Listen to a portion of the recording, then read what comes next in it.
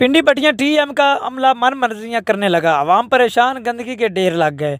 पिंडी पटियाँ मल्ला चौक, सराजा से बिलालपुर, गलियों और नालियों में गंदगी के ढेर, बच्चों का स्कूल जाना महाल, इलाके के लोगों ने कहा है कि सफ़ाई का अमला रोज़ाना गैर हाजिर और जुमेरात के दिन सफ़ाई के नाम पर हफ़्ता वसूली करने आ जाते हैं।